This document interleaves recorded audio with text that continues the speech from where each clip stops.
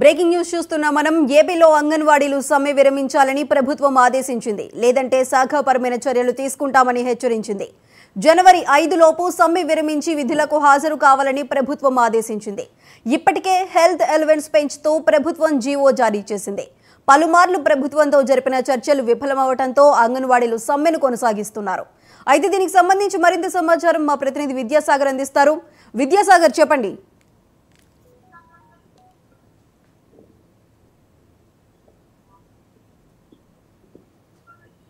విద్యాసాగర్ చెప్పండి. ఇప్పటికే అంగన్వాడీలు సమ్మె చేపట్టి గత ఇరవై ఒక్క రోజులుగా తమ నిరసనలు అయితే తెలియజేస్తున్నారు. దీనికి సంబంధించి ఇప్పటికీ అనేక రకాలుగా వివిధ రూపాల్లో నిరసనలు కూడా చేయడం చూస్తున్నాం. ముఖ్యంగా చూసుకుంటే రాష్ట్ర ప్రభుత్వం నిన్న ఒక జీవో జారీ చేయడం జరిగింది. దీంట్లో ముఖ్యంగా చూసుకుంటే ఇప్పటి వరకు ఏదైతే అంగన్వాడీ కార్య అంగన్వాడీకి సంబంధించిన ఉద్యోగులు సమ్మె చేస్తున్నారో ఈ అంగన్వాడీ ఉద్యోగులు సమ్మె మూలంగా ఎవరైతే గర్భవతులు ఉన్నారో అలాగే చిన్నపిల్లలకు ఉన్నారో ఈ పోషకాలను అందించే ఏదైతే ఉంది సర్క్యులేషన్ ఆగిపోయింది దీనివల్ల ఇప్పటికే గర్భవతులు అనేక మంది కూడా పోషక లోపహారంతో అలాగే పిల్లలు కూడా అనేక ఇబ్బందులు పడుతున్నారు. ఈ సమ్మె ఇలాగే కొనసాగిస్తే ప్రభుత్వం చట్టపరమైన చర్యలు తీసుకుంటుందని చెప్పి వీళ్ళంతా డిమాండ్కి ఐదో తేదీ అంటే ఇంకొక మూడు రోజులకి వీళ్ళకి ఒక డెడ్ లైన్ అయితే విధించారు ఐదో తేదీ లోపు ఎవరైతే ఉద్యోగులు ఉన్నారో వీరందరూ కూడా తమ తమ విధుల్లో చేరాలని లేని పక్షంలో ప్రభుత్వం తీసుకోబోయే అన్ని చర్యలకు కూడా వీరు బాధ్యులుగా ఉంటారని చెప్పి ఒక జీవో సర్క్యులేట్ జరిగిందని ఈ జీవో ఎక్కడికక్కడ ప్రతి జిల్లాకి సంబంధించిన కలెక్టర్లు ఆయా ప్రాంతాలకు మొత్తానికి సంబంధించిన అన్ని అన్ని శాఖలకి అన్నిటికి పంపించడం జరిగింది. సో మరొక మూడు రోజుల్లో సమ్మె వీళ్ళు విరమిస్తారా లేకుంటే ప్రభుత్వం వేరే వేరే విధంగా అయితే ఇతరుల అవుట్ సోర్స్ కానీ ప్రైవేట్ ఉద్యోగులు కానీ నియమించి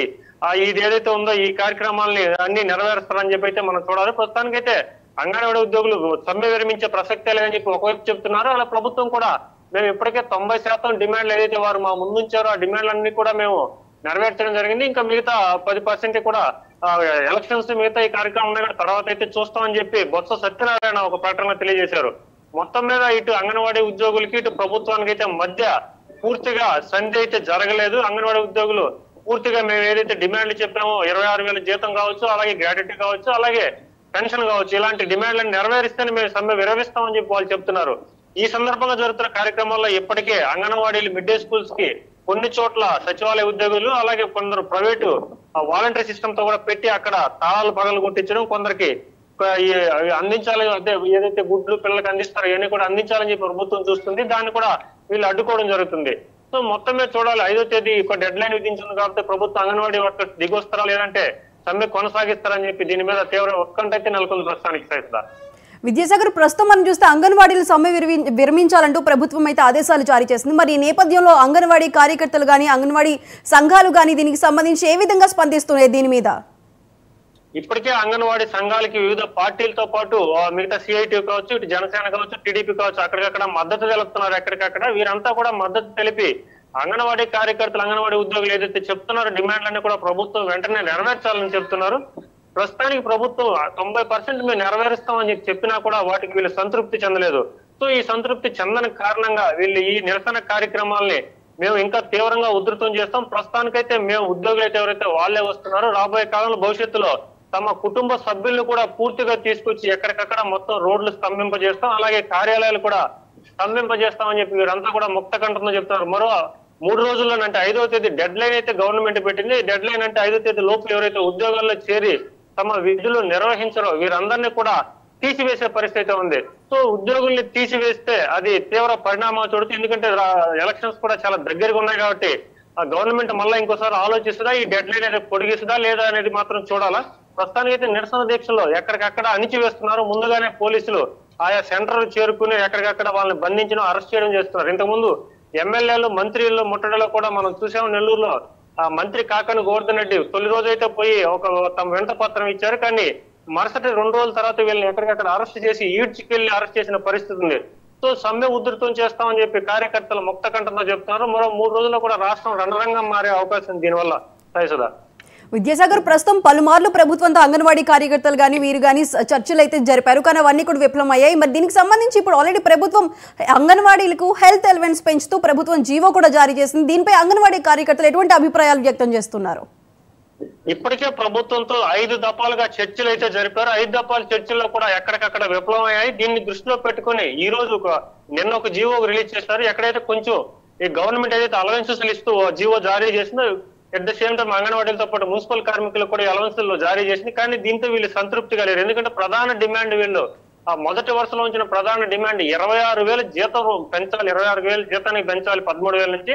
అలాగే గ్రాట్యుటీ అమలు చేయాలి పెన్షన్ విధానం అమలు చేయాలి అలాగే ఐదు లక్షలు ఆ, బీమా కూడా సౌకర్యం కల్పించే ప్రధాన డిమాండ్ ముందు వరుసలో పెట్టారు. ప్రధాన డిమాండ్ జీతం పెంచే విషయంలో ప్రభుత్వం ససేమిరా అంటుంది. ఎందుకంటే ఆ, బొత్స సత్యానికి సంబంధించి ఒక ప్రకటన కూడా చేశారు. ఎందుకంటే గవర్నమెంట్ ప్రభు జగన్మోహన్ రెడ్డి కూడా ఎక్కడ మీకు జీతాలు పెంచుతామని చెప్పలేదు. కేవలం వెయ్యి రూపాయలు పెంచుతామన్నారు. ఆ వెయ్యి రూపాయలు ఎప్పుడో పెంచాం కాబట్టి జీతం విషయంలో వెనకడుగు వేసేదని ప్రభుత్వం చెప్తుంది. ఏదైతే నిన్న ప్రభుత్వం ప్రకటించిన ఈ అలవెన్స్కి సంబంధించి వీళ్ళు సంతృప్తిగా లేరు కాబట్టి చర్చలు విఫలమయ్యాయని చెప్పొచ్చు సమ్మె కూడా కొనసాగిస్తామని చెప్తున్నారు. కాబట్టి వీరు ఎక్కడా కూడా దీంతో సంతృప్తి చెందిన పరిస్థితి లేదు సార్ విద్యాసాగర్ ప్రస్తుతం అంగన్వాడీలకు సంబంధించి తమ న్యాయమైన డిమాండ్లు పరిష్కరించే వరకు సమ్మె విరమించమంటూ అంగన్వాడీ కార్యకర్తలు కూర్చున్నారు. ఇటువైపు ప్రభుత్వం కూడా మెట్టు దిగకుండా దీన్ని అంటే వాళ్ళ న్యాయమైన డిమాండ్లను పరిష్కారం చూపించకుండా శాఖపరమైన చర్యలు తీసుకుంటాం సమ్మె విరమించాలంటూ ఆదేశాలు కూడా జారీ చేసింది. దీనికి సంబంధించి మరి అంగన్వాడీలు ఈ ఐదో తారీఖు ఉన్న ఈ ఈ టైం పీరియడ్ లాంటి టూ డేస్లో ఎటువంటి కార్యాచరణ రూపొందించే అవకాశం ఉంది? ఇప్పటికే అంగన్వాడీ కార్యకర్తలు తీవ్రంగా చర్చించుకున్నారు. ఎందుకంటే ఒక అభద్రతా భావం లేకైతే పోయారు. ఇప్పటి వరకు సమ్మె అయితే చేస్తున్నారు. అందులో డెడ్ లైన్ గవర్నమెంట్ ఐదో తేదీ విధించడంతో వీళ్ళలో కొందరు కొందరు ఎందుకంటే చాలా మిడిల్ క్లాస్లో ఉండే వాళ్ళు ఇట్లా మిడ్ డే స్కూల్స్లో పనిచేసిన పరిస్థితి అందరూ కూడా తమ ఉద్యోగాలు ఐదు తర్వాత పోతాయని చెప్పడంలో వీళ్ళ చీలికలు వచ్చే అవకాశం ఉంది. ఎందుకంటే కనీసం ఒక ఉద్యోగం ఉంది ఒక జీవితానికి భద్రత ఉంది. ఇటువంటి సమయంలో ప్రభుత్వం కఠిన వైఖరి వ్యవహరిస్తే ఐదో తేదీ పైన ఎక్కడికెక్కడ అంగన మిడ్ డే స్కూల్స్లో ఇతరులు నియమించే అవకాశం ఉంది కాబట్టి చాలా వరకు ఆ సమ్మెను కొనసాగించాలా లేదంటే సమ్మె ఇక్కడికి విరమించుకుని ఏదైతే కొంత అలవెన్సులు ఇది ప్రకటించారో వీటితో సంతృప్తి చెందాలని చెప్పి సుదీర్ఘంగా చర్చలు జరుపుకున్నారు. ఈ చర్చల్లో అంగన్వాడీ కార్యకర్తలందరూ ఒక తాటి మీద నిలబడతారు. అంగన్వాడీ కార్యకర్తలు ప్రధానంగా ఇప్పటి వరకు రాష్ట్రంలో సిఐటి అండగా నిలుస్తుంది. అలాగే మిగతా ఇతర రాజకీయ పార్టీలు కూడా ఒక రోజు వచ్చి అక్కడ కూర్చొని వెళ్ళిపోతున్నాయి తప్ప ఎలక్షన్లో తాము గెలిస్తే మీకు సహాయం చేస్తున్నాయని తప్ప వారు కూడా ఖచ్చితంగా మీరు ఏదైతే ఉన్నాయో మీరైతే డిమాండ్ ఉన్నాయో మా ప్రభుత్వం వస్తే నెరవేరుస్తుందని చెప్పి టీడీపీ కూడా చెప్పలేని పరిస్థితి. సో ఇవన్నీ దృష్టిలో పెట్టుకుని అంగన్వాడీ కార్యకర్తలు ఒక అడుగు వెనక్కేస్తారా? లేకుంటే ప్రభుత్వం కఠినంగా వ్యవహరిస్తుందా? దీని మీద కొంచెం మనకైతే ఉత్కంఠ అయితే నెలకొంది. చూడాలి ఇంక రెండు రోజుల్లో వీళ్ళు సమ్మె అయితే సమ్మె బాట కొనసాగిస్తారా? లేదంటే కొందరు వీళ్ళ చీలికలు వచ్చి కొందరు సమ్మె నుంచి విరమిస్తారనేది మాత్రం దీనికి రెండు రోజులు ఆగితే కానీ దీనికి పూర్తి పరిష్కారాలు ఏమైతే మార్గాలు అయితే తెలియటం లేదు.